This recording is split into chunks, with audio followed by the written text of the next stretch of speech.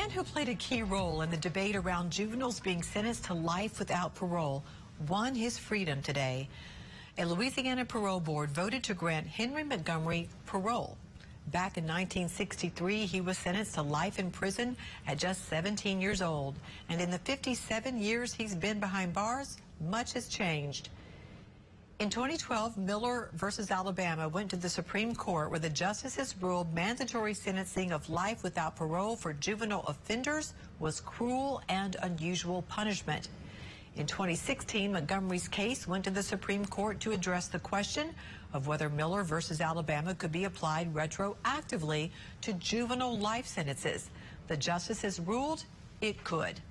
Since that ruling, roughly 800 people have been freed, according to the Campaign for the Fair Sentencing of Youth. Montgomery's case played a big role in winning freedom for those 800 sentenced when they were juveniles, and today he was able to taste freedom himself. Newsy national correspondent Tammy Eswick has his story. After 57 years in prison. You want to come back with me? No. no. This is Henry Montgomery's first look at freedom. You're going to do great.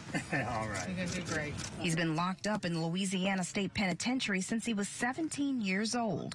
Now a hard of hearing 77 year old man, he's looking forward to a fresh start. It's wonderful. Too wonderful. Everything, all made everything change.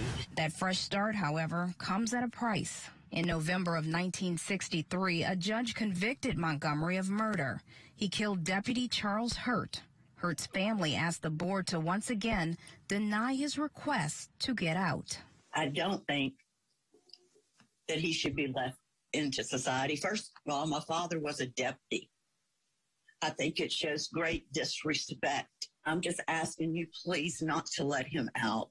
To understand why advocates push for the Louisiana Parole Board to set a convicted murderer free, it helps to understand several Supreme Court cases. When I first started this business 35, 40 years ago, no lifers ever came home. 220 long-termers are out, 80 juvenile lifers are out.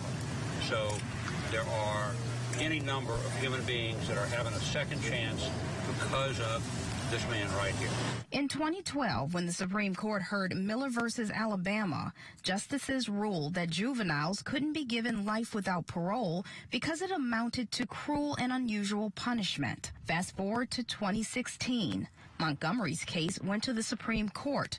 This time, justices agreed that the previous case of Miller versus Alabama could be applied retroactively, meaning people sentenced before that 2012 date could now ask for parole. Former juvenile lifer and co-founder of the Louisiana Parole Project, Andrew Hundley says since that ruling, roughly 800 people have been freed. Meanwhile, Montgomery remained behind bars.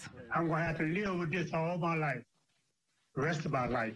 This is an awful case. There's no question about it. When, when he went to prison, John F. Kennedy was still alive.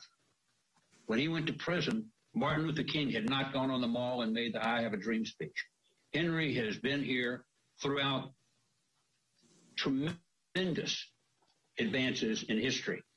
So he's he's got a lot of catching up to do. Montgomery isn't free to roam. He has several parole conditions to meet, including a no contact order with that deputy's family. Tammy Eswick, Louisiana State Penitentiary, Newsy.